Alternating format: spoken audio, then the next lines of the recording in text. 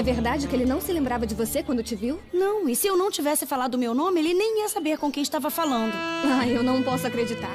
Eu acho que você deve estar exagerando. Eu juro que eu estou dizendo a verdade. O Damião não é mais o mesmo que você e eu conhecemos. Mas é claro que não. O Damião já é um homem. Ah, tá. E eu sou uma mulher. E nem por isso eu esqueci o rosto das pessoas. Ah, Elis, eu acho que você imaginou que ia acontecer uma coisa maravilhosa quando se encontrassem. E É. eu não sei que talvez o Damião ia chegar e chorar rios de lágrimas ao te ver e ia te abraçar muito, muito forte até você perder todo o ar, como acontecem nos filmes, não foi? É. Ai, e assim. é isso mesmo, você tem toda a razão.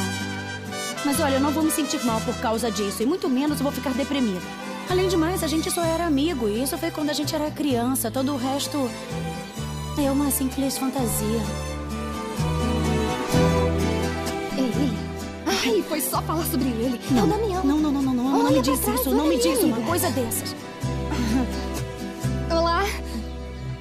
Olá. Olha, eu sou a Paloma. A neta da curandeira de quem você comprou uns amuletos uma vez. Você se lembra? Bom, eu só tô falando tudo isso pra caso você também não me reconheça, não é? Como foi com a Elisa? O quê? Olha, me desculpe, mas eu fiquei fora muito tempo.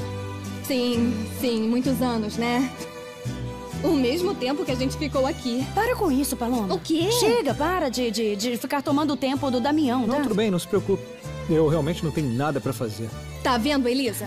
Podemos continuar conversando. Não, não, não, a gente, a gente não pode, porque de verdade nós temos muitas coisas pra fazer e estamos com muita pressa. Vamos ir. Por quê? Vamos pra logo. onde? Você sabe perfeitamente pra onde, não se faz de tonta, tá? Anda logo, nós estamos com muita pressa. Vamos, foi muito bom te ver de novo, Damião. Tenha um bom dia.